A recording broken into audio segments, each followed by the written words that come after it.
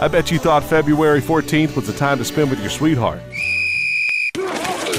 Well, if your sweetheart is a college football fan, it is. If you're already missing college football season, then you can get your fix at the College All Star Bowl, where the top seniors from the ACC, SEC, and all around the country will be showcasing their talents for fans, NFL scouts, and coaches at Paladin Stadium at Furman University at 6 p.m. on February 14th. For tickets, go to Ticketmaster or collegeallstarbowl.com. College football isn't over just yet.